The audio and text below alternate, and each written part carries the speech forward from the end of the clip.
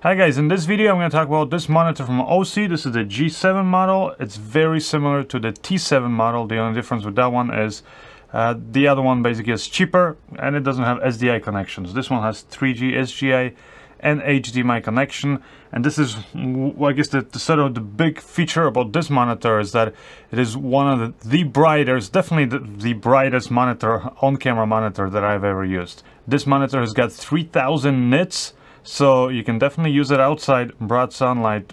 Uh, so that's kind of a cool feature on it. Now the cool thing about it is that even though it's not a touchscreen it's probably the easiest monitor that I've ever used uh, that allows you to quickly navigate through all the different settings and change your, your different settings in the monitor and that's all thanks to this little joystick up here right with this joystick you can switch to the different custom scenes that you can set up uh, so you can, for example, have all your, you know, little uh, basically assists and all that stuff. And the software in this uh, monitor uh, gives you a lot of features, a lot of things that you can basically do and ways that you can monitor your, your video. So as you can see, I'm right now here uh, just with this joystick I can navigate. I have uh, two menus that I created. You can create a lot more than that. so for example, menu number one, I can just enter it. And I already kind of set up my own uh, different uh, things basically that I care about. These are basically different scenes that you can set up. So you can easily delete these. You can rearrange them all that stuff. So my first sort of assist function is the aspect ratio. So I can turn that on and it will show me basically these bars and I can of course enter it and I can change the aspect ratio so you can see I can have different bars I can change this so that it's uh, for example lines see these white lines are matte and then I can change the, the ratio on it. So different ways to basically help you assist in framing your, your shots. Another feature I like using is the false color. So again, you have that under. And the false color in this monitor is actually really good because it's very, very accurate. It's got a lot more levels to it. Uh, and you can really in detail see how each part of your scene is exposed.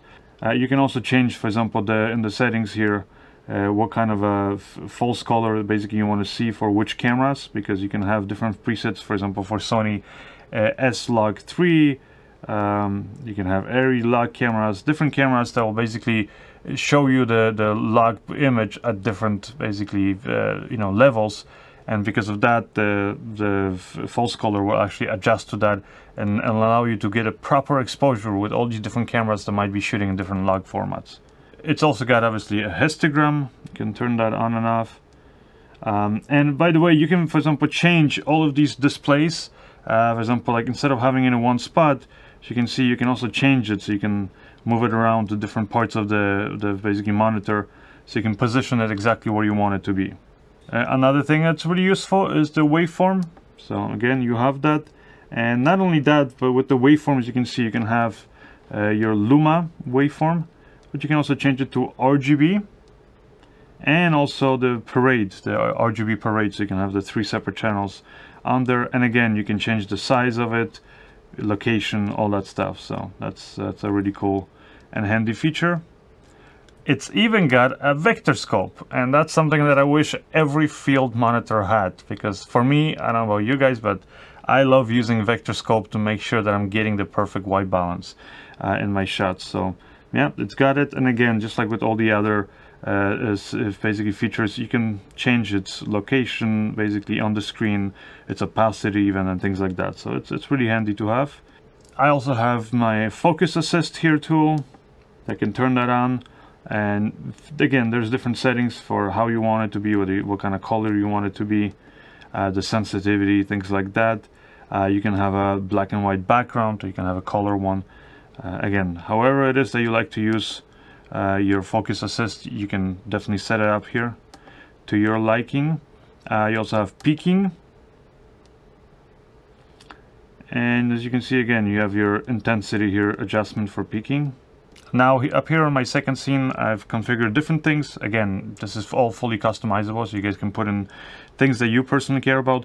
First thing I have is LUTs can enable that and that's because this monitor actually comes with uh, all these different LUTs built in but you can also load in your own LUTs by uh, inserting an SD card up here Now, there's sort of the built-in LUTs that are in the camera are really cool because uh, they pretty much have different settings for all, all, of the different cameras out there that might be shooting in log format. So whether it's Sony, Blackmagic, EC camera, all that stuff, you know, Canon, all of those different uh, cameras. So you can choose any of these LUTs and it's kind of cool to just sort of have it in there so in case you just simply want to do a standard log to Rec 709 conversion so you can see properly in your monitor you have it already in there.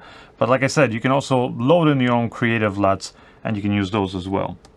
I also enabled the audio meters in here because again sometimes I might want to be able to see what my audio levels are like.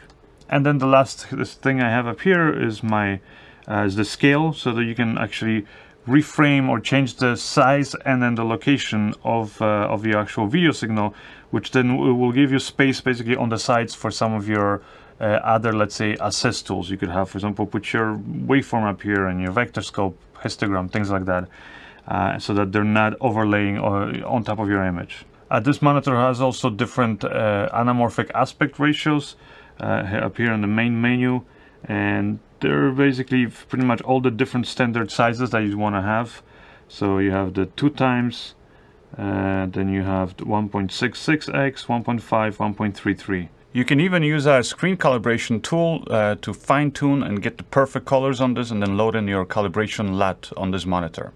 Plus you have multiple settings that are already built into this monitor. Another thing I really like is you can turn on uh, to see the actual voltage that's remaining on your battery that's powering the monitor. Now, like I said, the biggest feature of this monitor is the fact that it's the brightest monitor out there, at least the brightest that I've used. It's 3000 nits.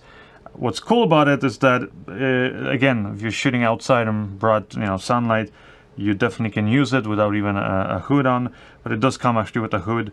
Uh, the monitor doesn't really get that hot, and even with the brightness set all the way uh, at basically maximum, the, the sort of the standard Sony NP-F size battery uh, will last you around three hours. But if you lower that by just a little bit, uh, then it's gonna last you for many, many hours. Like I usually use this around like five or six setting out of 10. It goes to, from a scale of, of one to 10. So I said I usually use it around five to six. I find that that's plenty of brightness and then the battery pretty much lasts you a whole day. Now what about latency? You can see this is the sort of latency you're getting. It's not the greatest, it's not the worst. Uh, again, it's sort of like my typical monitors uh, that I've used throughout the years. Uh, it can be used for focus pulling. Now, maybe if you're doing some really, really fast action or something like that, mm, somewhere, you know, in those cases, in rare cases, I think it might give you problems. But again, most of the time it's plenty, so you can use it for focus pulling. Now, in terms of the inputs and outputs, so you have your uh, HDMI in and out, and then you have your SDI in and out. Uh, just keep in mind these are not cross convertible, uh, but otherwise it is nice to uh, be able to basically loop out the signal uh, out of here. Uh, and then to power it, you have a built-in Sony NP-F style battery plate. and then you can also power it using DC basically or AC adapter that it comes with. Another cool thing actually is, is that they give you a V-mount battery plate so you can actually uh, put it on top of here and then uh, you can power the monitor using V-mount batteries. Uh, the only other thing you have here on the back is your on and off switch. It's like a actual physical switch, which personally I like because I mean when you turn it off, you know it's first of all not draining batteries, like waiting for, for you to click the button. Uh, but also it's just, you know, it's solid. It's not something that you're to accidentally turn it on and off. Uh, and then uh, on top here and on the bottom you have your quarter 20 attachments. The monitor itself is made from a plastic. It is a sturdy plastic. Uh, but I gotta tell you that the overall feel of the monitor, like it doesn't flex anything like that, and that's supposedly because uh, the actual frame of this monitor is aluminum, and those threads, the quarter 20 threads on the top and bottom, are actually directly attached to that aluminum. So they're not something that are to easily break off like in some of my other monitors that I've had where you know I had like a aluminum uh, quarter 20 attachment but it was actually attached to the plastic body of the monitor and then the plastic itself would break. Well here it's actually attached physically to that uh, frame. You do also have here on the side uh, headphone jack and that's uh, so that you can monitor the sound coming uh, out of your video signal that's you're inputting uh, so that's a great thing. Plus, there is actually a built-in speaker, so if you want to be able to you know play the audio out loud for everybody to hear on set, you can do that too. So overall, as you can see, great monitor. I, would say the only maybe thing that is uh, that could be an issue for some people, not something really that I'm concerned with, is that uh, it, it, can actually accept a lot of different signals, like I said, from SDI, 3G SDI, it has connections plus HDMI and different resolutions all the way up to 4K and HDMI. The only thing to be aware of is that in 4K, uh, the basically HDMI signal, the highest frame rate you can connect this uh, is up to 30 frames per second. So if you are shooting um, 60 basically frames or 59.9 uh, 7, uh, then again, this monitor will not be able to accept that in 4K. In 1080, you can go up to uh, 60 frames per second.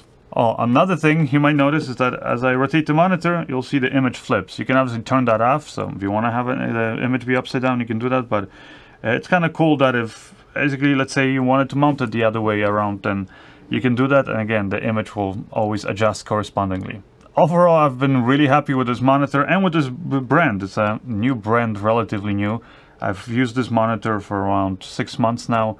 And recently, actually, I have added, uh, I have a monitor basically here off camera that I'm using sort of as my in-studio monitor and also as my field monitor from the same company, Osee, that I'm going to be doing a review of, on that one. It's actually a fairly new monitor that I've had for just uh, basically almost a month now.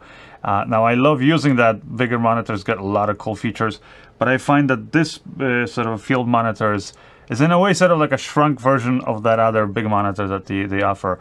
It's got really nice color reproduction, really bright again. Uh, I love that this little thumbstick that allows you to quickly customize all these different custom scenes or menus and then uh, be able to turn on and off and basically you know I, be find a quick way to monitor your image the way that you want to be able to monitor it. So I can definitely highly recommend it if you guys are out there looking for a good field monitor. Uh, check out the Osee G7 or the T7, which is again identical, just doesn't have the 3G SDI connections if you don't care about it. And you can save yourself quite a bit. Well, actually, right now, I gotta let you guys know, at the time of me doing this video, uh, this the G7 with the with the 3GI connections, um, Right, normally retails for like $720, but right now you can get it for around 540 somewhere there. It's on sale. Uh, the T7, the cheaper model, is 420, 430, somewhere around there. Uh, the price. Again, for all the latest prices and where you can get it. As always, check the links in the description of this video. And otherwise, uh, make sure you follow me on my website at tomantosfilms.com subscribe to my newsletter so you're in, in touch and you're up to date with any of future videos, tutorials, reviews, things like that. My name is Tom Antos and that's it for this one. Bye!